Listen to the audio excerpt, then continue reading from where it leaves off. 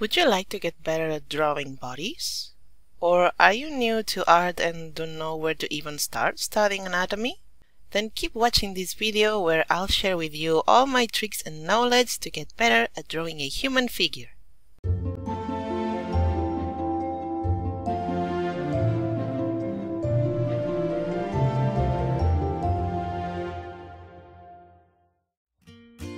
Hello everyone, how are you doing? I'm Rina and as I just mentioned, this will be the long-awaited anatomy tutorial. Well, perhaps tutorial isn't the right word in this case, but I hope you will learn something from my explanations. Today's video, by the way, is sponsored by Clip Studio Paint once again. Clip Studio Paint is a digital art software and the one I currently use to create all my artwork it's super powerful with lots of brushes that resemble traditional tools and cool options to speed up your workflow. Plus a super caring community where you can find dozens of tutorials about many subjects and even more free brushes made by other users. Even though you don't need Clip Studio Paint to follow along with today's video, we're going to see a couple of features from this program that are super helpful for drawing bodies so consider getting it in the future. I can't stop recommending this program to all illustrators out there. Whether you're a hobbyist, artist, or a professional, Clip Studio Paint will surely cover all your needs. And after this small intro, let's get to the point.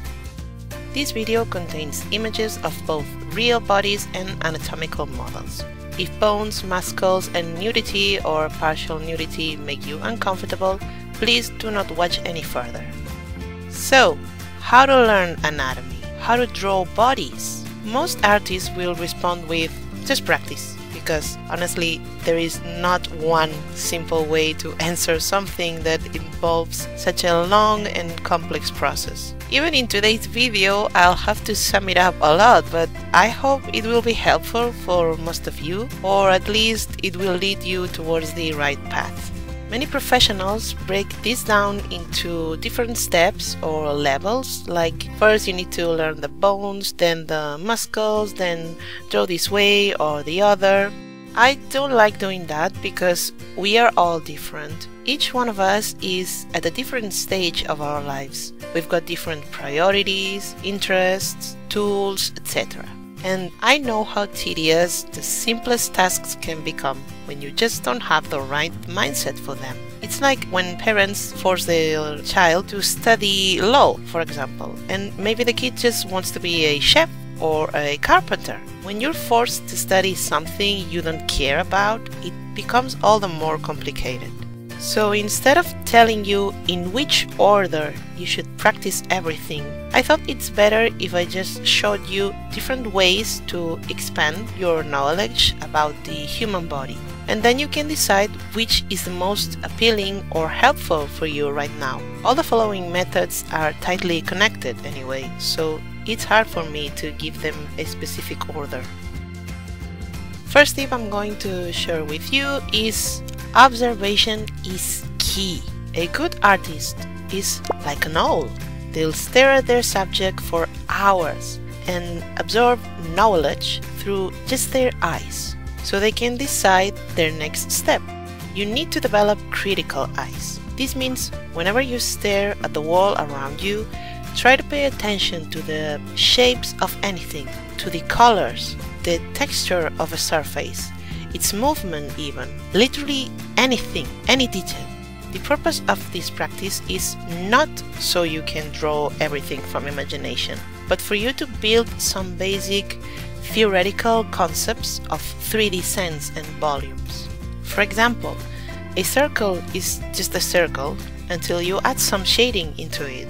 But if you just fill half of it with no sort of logic, it will never look like a 3D object. Instead, we have to go over the lower edge, for example, and create a soft gradient. Now it does look like a real ball. See the difference between the first attempt and the second? But you can't just add soft gradients around the edges of every object and expect it to look good. If you do just that on a cube, you can't really tell where the light is coming from, so it's hard to understand its depth. In this specific case, the first approach of shading is way more helpful. We give the three visible sides a different color value and voila, a perfect cube with logical depth. This is the kind of knowledge that you will learn by constantly observing your surroundings. Every object and shape has a different way to be drawn. The second tip is go from the most abstract and basic shapes to the most complex and realistic ones. You've probably seen many artists structure their bodies on their drawings with spheres, cubes, rectangles, cylinders at first, and then they build detail on top of it. This is pretty useful to get a basic idea of the overall shape of the body. At this stage, you can also make sure everything is symmetric or has the right length before you spend too much time on tiny details you might have to erase in the end because your proportions were off to start with. Each artist separates the body differently. Some people will split the torso into two parts, while others will do it in three. Some will use very harsh angles, while others go for softer shapes with more curves. Sometimes we don't even stick to one exact method, but we change it depending on the nature of the drawing. That happens a lot to me. I suggest watching many time lapses from several artists to get ideas from them. These basic shapes, by the way, should take perspective into account. So if you're struggling with that too, you can dedicate a bit of your time to studying how geometrical shapes change their sizes and angles depending on the perspective.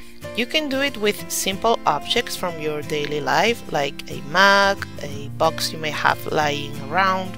Observe these objects from different angles and try to redraw them. Then compare all the results. It's like a sort of spot the difference game. Usually though, the closer something is to our eyes, the bigger it will look compared to the rest. So if we're looking at a person from below, their feet and legs will look bigger than their head. And if we look at them from above, the head will seem bigger than the feet. Even the inner curves and lines of the shapes change their nature. They will curve downwards if our eye is above the subject and the other way around. If you pay attention to these two masses, their outer shape is the same, but the inner lines are different and so the perspective for each of them changes. Therefore, perspective is important, my friends. it's a pain to master, but it's really helpful. So if you struggle with it, it's definitely worth to make some studies with basic cube and cylinder-like shapes. Next up, we have the muscles and bones. Nobody told you that in order to become an artist you need to study a bit of biology too, right? well, that's how things work. To draw a human body with not so many struggles, you have to learn about our internal gear too. It's important that you understand the shape of the bones and muscles, how all of them are connected, how the muscles stretch or relax depending on the pose. You can do that by, for example, studying those scientific models we've all seen in biology books, tracing the shapes you see, copying them, and also a very interesting exercise is to grab any random photo and try to draw the skeleton or muscles on top of it.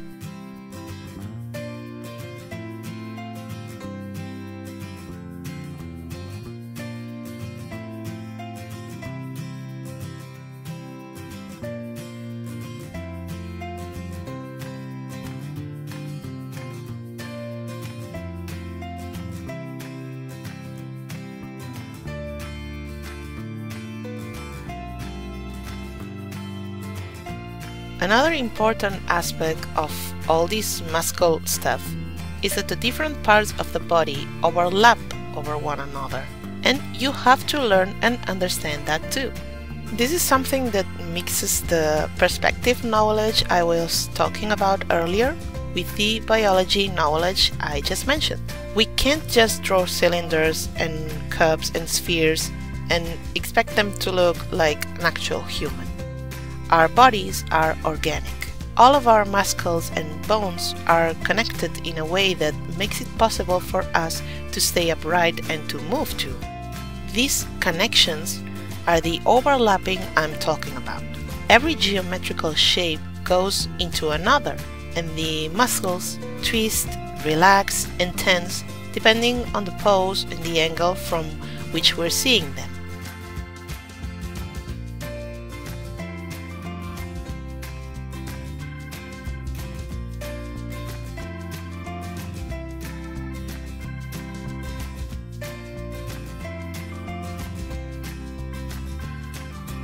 Most of the time, this overlapping thing can be done with just a few lines here and there, but you have to know where to place them to give your drawing the illusion of 3D. They usually appear where two pieces of the human puzzle connect. In other words, joints like the armpit, elbow, wrist, but also places like the collarbone, neck, and jawline, because there's a bunch of muscles involved in that part of the body. See the importance of biology now? Knowing the shape, placement, and functions even of our muscles can make these little details a lot easier to spot. An example that really helped me years ago was thinking about the arm as if it was a chain. The shoulder goes in this direction but the next part of the arm is connected at the opposite angle, and so on. Stuff like this looks really scary and confusing when you're not familiar with the shape of the muscles, which leads me to the next point. Use references. I'm tired of repeating this all the time, but when you don't know how to draw something, you can't just expect a miracle to happen. No, you go on Google or books or wherever and search for references for that specific thing you're trying to draw. The more varied, the better. You've probably heard about professional artists doing anatomy studies now and then, and this is exactly what they do. They go on websites like Quick Poses or Pose Maniacs and just redraw random poses from the photos they can find there. This is a great practice as it gives you the chance to see different body builds, but not just that. You can observe. Remember the first tip? you can observe how the muscles relax or tense. You can see these overlapping lines I mentioned in the previous point. You can see how they change depending on the angle of the photo. Observe absorb that knowledge and then try to draw it and implement it little by little on your own art. You don't even have to redraw the entire body. You can just focus on a specific part if that's better for you. For example, just draw the hands or the legs or the chest. There are so many places where you can get lots of pose references and useful resources. On Instagram, for example, you've got Manga Materials and Taco. On DeviantArt, Senshi Stock. And here on YouTube, you can watch Ergo Josh's channel. I'll leave you all the links in the description box so you can check them out later.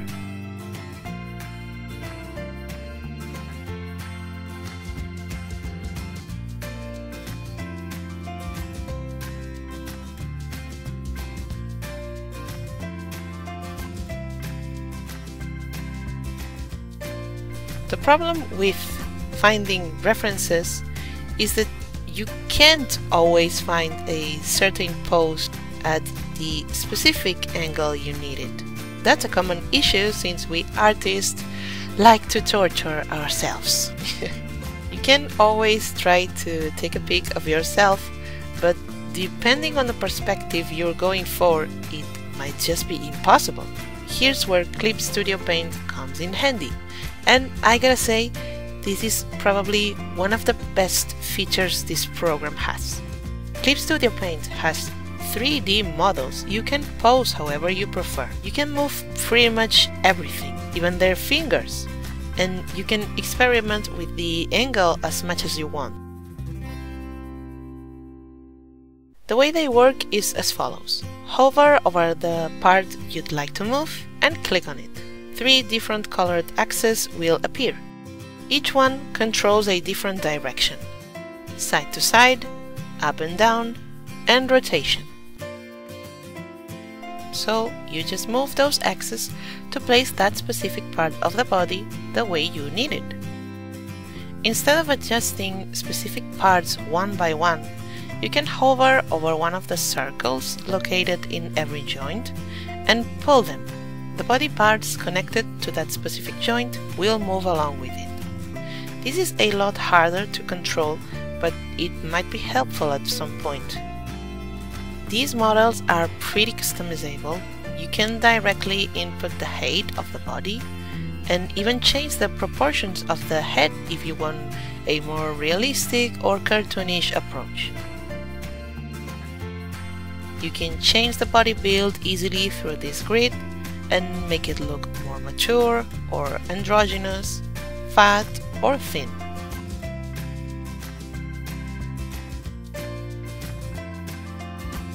It's got a panel to pose the hands and fingers quickly too. It comes with a few default fists, and we can easily open and close the fingers through this triangle section, moving the cross towards one icon or the other. A very useful trick is to choose one of the fist shapes, then block any of the fingers to stay in that position with the chain icon the unchained finger will respond to the changes we apply through the triangle section. And of course, we can always keep adjusting the position of each finger directly on the model with the axes I have previously shown you. We're not done yet though. There's a few more interesting things you can do with Clip Studio 3D models. There's a manga perspective option that can be very helpful for when you want to make some foreshortening you just have to click on it, choose the intensity, and the proportions of the model will change accordingly to that fake perspective.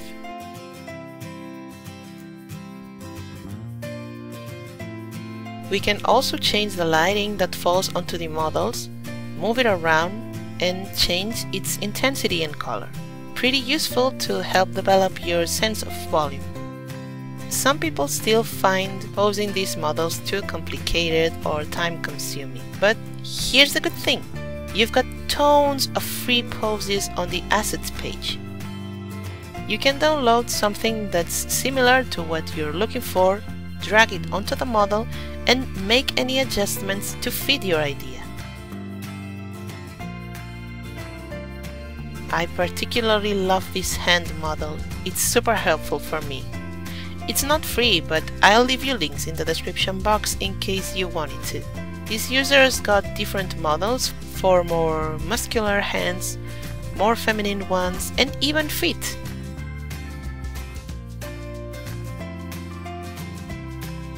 I wouldn't heavily rely on these 3D models to correct my anatomy as they don't have muscles that change with the tension of the pose and neither can you really see the overlapping lines.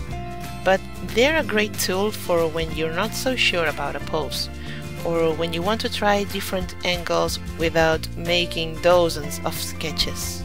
I find it really impressive that a drawing software comes with such a detailed and helpful feature specially tailored for artists, which by the way, you can try these 3D models for free by downloading Clip Studio Paint free trial. Another little trick I just remembered about this that might be useful for some is to use Clip Studio Paint's stroke feature to easily recognize any overlapping parts. You basically just need to create a new layer, go to the Layers property panel Remember you can enable it through the window tab if it's not visible yet. Click on the left icon and choose a dark color. Maybe even add a bit more width so the effect is more noticeable. Now everything you draw on this layer will have a dark edge. How is that useful? You can keep on making layers with that effect and placing them below or on top of the first one to build a basic idea of the human body with simple perspective. Pro tip Create an action to make a new layer with that specific effect to speed up the process.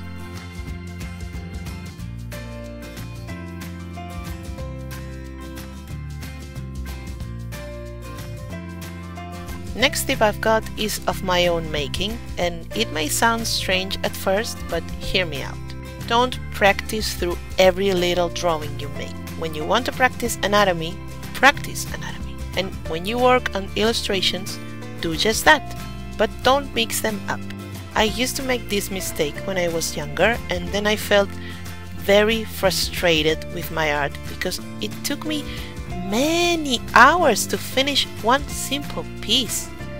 And it's because I spent way too much time perfecting the anatomy that I would have to cover later with clothes anyway. The day I realized I wasn't really saving time by doing both things at once, but actually I was slowing myself down, I split it into two different processes. And I found that I felt much more focused on just learning whenever I did anatomy studies, and much more comfortable and lighter when I did illustrations, because then I could solely focus on creating. Let's be logical. What's the point of drawing a perfectly realistic body of a beautiful model if you're gonna cover it with a big hoodie in the end? It's just a lot easier and it makes a lot more sense to aim for the final silhouette from the start.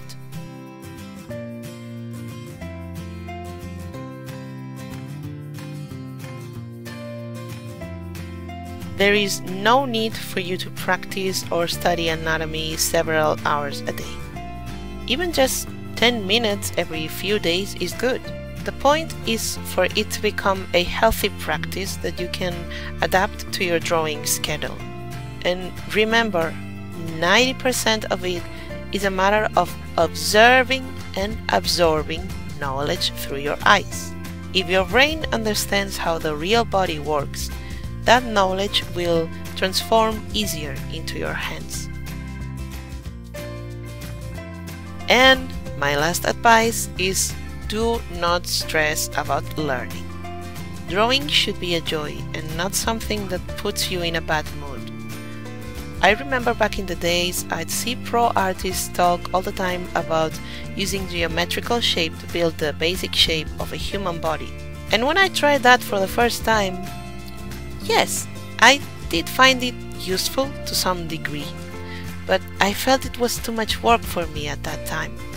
And it also made my drawings look kind of stiff mostly because I didn't really know what I was doing. My sense of 3D and perspective weren't that good at that time. So whenever I tried to use that method it made me not want to keep drawing or abandon pieces I was super excited about. And that's because I wasn't ready for that step yet. Perhaps I needed to focus more on learning the muscles or basic perspective.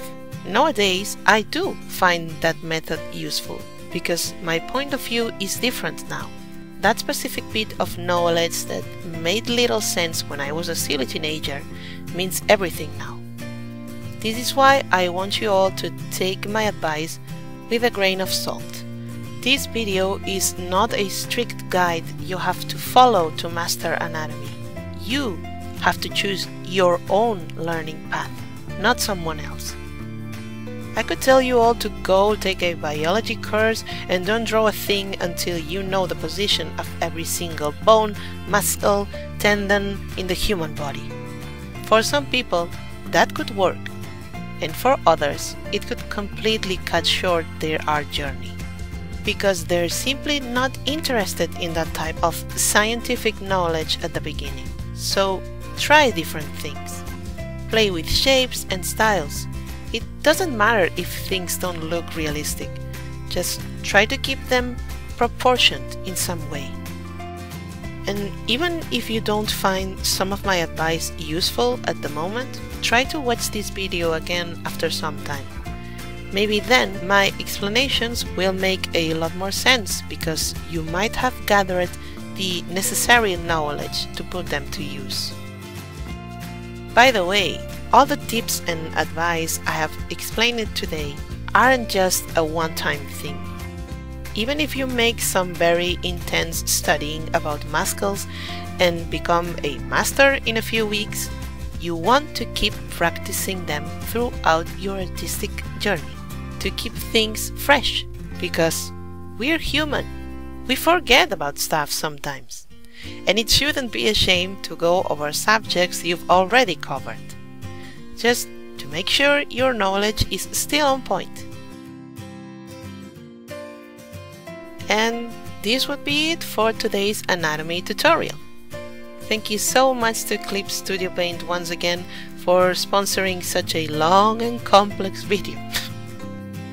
If you guys are interested in the program and its awesome 3D models, they offer a free trial both for the desktop version and the app that can go up to 3 months.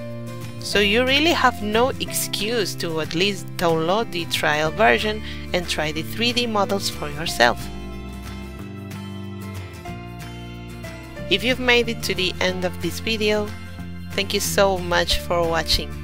I know it's long and I surely haven't covered everything, but it's honestly impossible to explain such a complex subject like anatomy in a single video.